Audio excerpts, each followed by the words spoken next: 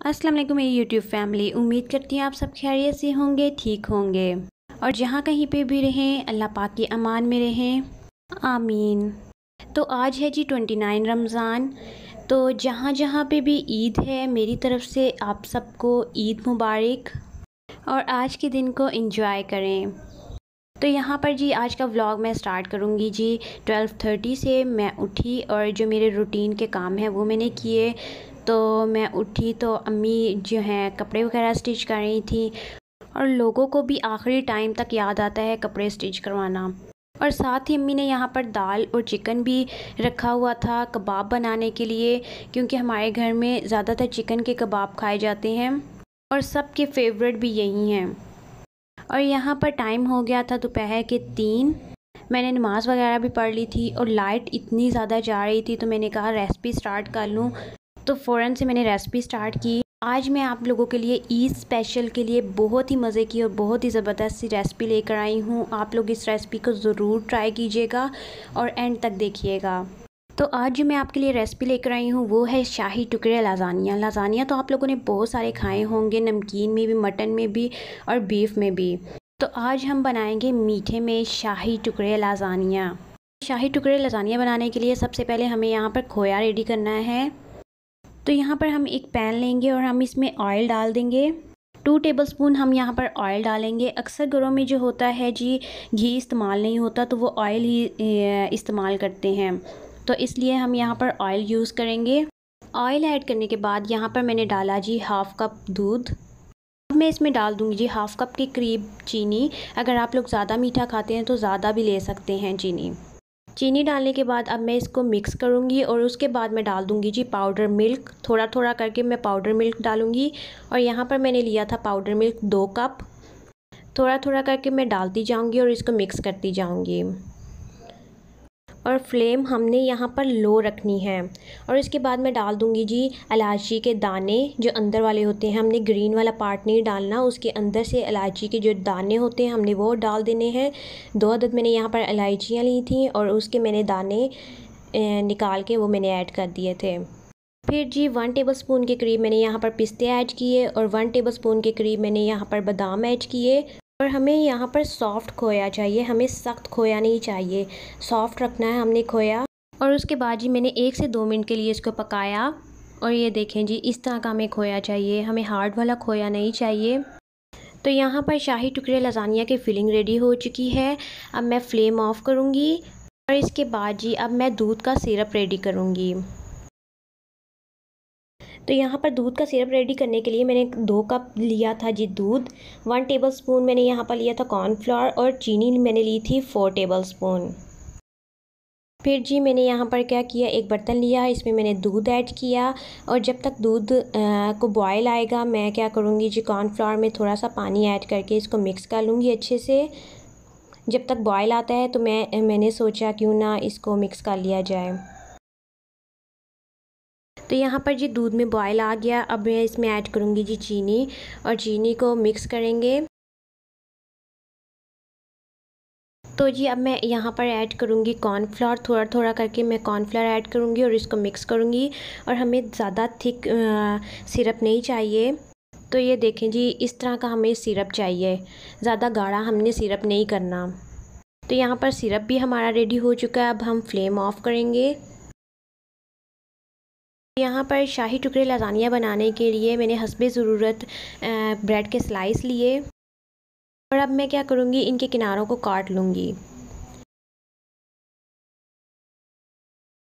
तो यहाँ पर मैंने सारे ब्रेड के स्लाइस को साइड से कट कर लिया। अब मैं इनको फ्राई करूँगी। आप एक पैन ले लें या तवा ले लें जिस पे रोटी बनाते हैं। तो उसमें ऑयल डालेंगे और इस तरह से करके हम ब्रेड के स्लाइस को रखते जाएँगे और ब्रेड के स्लाइस हमने लाइट गोल्डन करने हैं। Light golden brown. जैसे ही लाइट गोल्डन ब्राउन कलर के होंगे, मैं इनको निकाल लूँगी। तो यहाँ पर देखें, इस कलर के ये देखें, इस तरह के होने चाहिए। अब यहाँ पर रेडी हो चुके हैं, अब मैं इनको निकाल लूँगी।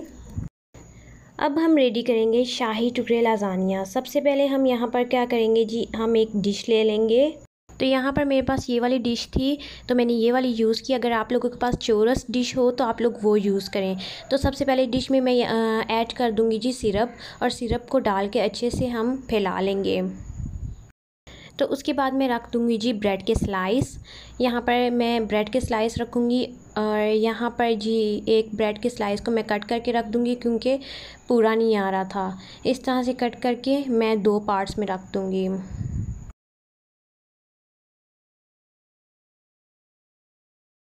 तो यहाँ पर जी अब मैं ऐड कर दूँगी दोबारा से सिरप और सिरप डाल के अच्छे से हमने इसको सेट कर लेना है। और अब जी मैं ऐड कर दूँगी जी खोया जो मैंने आप लोगों के सामने रेडी किया था, खोया डाल के उसको अच्छे से सेट कर लेना है।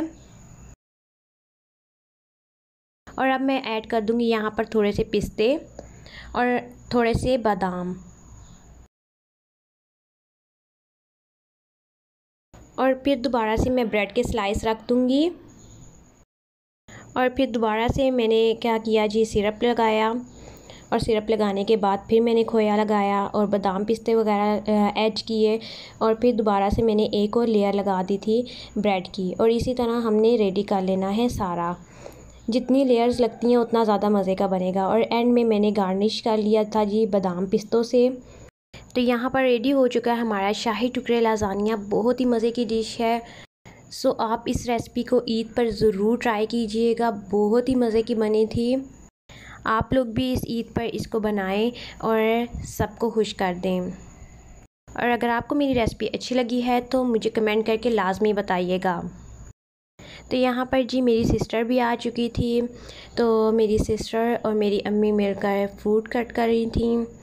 फिर इसने आते सार मना कर दिया कि इतना कुछ बनाने की ज़रूरत नहीं है, क्योंकि इतना रमज़ान खा खा के तो दिल नहीं करता अब खाने को। फिर मैंने जी यहाँ पर थोड़ा सा बेसन रेडी कर लिया पकोड़ों के लिए, क्योंकि बच्चों को तो पकोड़े पसंद होते हैं, इसलिए मैंने यहाँ पर थोड़ा सा बेसन ऐड कर लिया और बेसन में मैंने नमक थोड़ा सा चाट मसाला और साबुत ज़ीरा मैंने ऐड कर दिया था और यहाँ पर थोड़ी सी अजवाइन ऐड कर दी थी और कुटी हुई लाल मिर्च मैंने ऐड कर दी थी। और मैंने जल्दी जल्दी में बनाए थे और इतने क्रिस्पी बने थे, इतने मज़े के बने थे ये पकोड़े। और मैंने थोड़ा सा पानी ऐड डाल के इनको अच्छे से मिक्स कर लिया था। अच्छे से मैंने बेसन को जी फेंटी लगा ली। तो जी, इस तरह से हमने फेंटी लगा लेनी है अच्छे से बेसन का।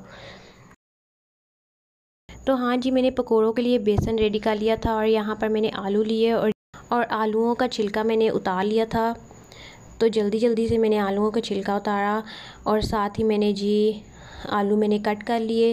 इस तरह से मैंने आलू कट किए थे चिप्स वाली शेप में, क्योंकि बच्चे ज़्यादातर इस तरह के चिप्स खाते हैं, प्याज वाले नहीं खाते। तो इस तरह के मैंने कट कर लिए थे। तो यहाँ पर जी सारे मैंने आलू कट कर लिए थे पकोड़ों के लिए और मैंने जी जल्दी जल्दी से बेसन में डिप करके मैं डालती गई और सारे मैंने जी इस तरह से मैंने पकोड़े रेडी कर लिए और मैं निकाल के इस तरह से रखती जा रही थी और दूसरी तरफ़ मैं फ्राई करती जा रही थी। तो यहाँ पर जी हमारे पकोड़े भी रेडी हो चुके थे बहुत ही मज़े के बने थे। तो यहाँ पर जी हमारा दस्तरखान भी रेडी हो चुका था तो सब बच्चे सब आके बैठ गए थे। तो सिस्टर ने इतना कुछ बनाने नहीं दिया था।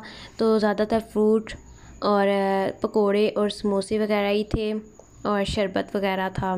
तो दस्तरखान पर बच्चा पार्टी की वजह से बहुत ज़्यादा मज़े की रौनकें थीं। तो यहाँ पर जी सबने रोज़ा इफ़ार कर लिया था और यहाँ पर जी ये देखें जी, माशाल्लाह हमारी बच्चा पार्टी सारी नमाज़ पढ़ रही थी। ये देखें जी। तो सब बच्चे जब नमाज़ पढ़ रहे थे तो नूर फातमा नहीं थी उसमें तो फिर जी नूर फातमा कहती है, मैं भी नमाज़ पढ़ूँगी, मेरी भी वीडियो बनाओ। फिर मैंने क्या किया जी, वो जी नमाज़ पढ़ रही थी, फिर मैंने नूर फातमा की वीडियो बनाई, छोटी मैडम की। ये देखें जी, माशाल्लाह। तो यहाँ पर जी, जो मैंने रेसिपी रेडी की थी, वो बार बार लाइट जाने की वजह से फ्रिज में ठंडी नहीं हुई थी तो मैंने फ्रीज़र में रख दी थी कि जल्दी ठंडी हो जाए। तो यहाँ पर सिस्टर लेकर आई थी कि दो। फिर मैंने क्या जी, सब, ये कट कर लिया था और इस तरह से मैंने निकाल लिया था। और उसके बाद जी मैंने सबको डाल के दिया ताकि ये खाएँ। और यहाँ पर जी सिस्टर भी खा रही थी और मैं भी खा रही थी और बहुत मज़े की बनी थी। आप लोग इस ईद पर इसको ज़रूर ट्राई कीजिएगा, बहुत मज़ा आएगा। तो यहाँ पर मैं करती हूँ जी वीडियो का एंड। उम्मीद करती हूँ आपको मेरी ये वीडियो अच्छी लगी होगी। अगर अच्छी लगी है तो थम्स अप देना मत भूलिएगा। और अगर आप न्यू हैं मेरे चैनल पर तो मेरे चैनल को सब्सक्राइब करें लाइक करें और ज़्यादा से ज़्यादा शेयर करें। अगली वीडियो तक के लिए मुझे दीजिए इजाज़त। दुआओं में याद रखिएगा। टेक केयर अल्लाह हाफिज़।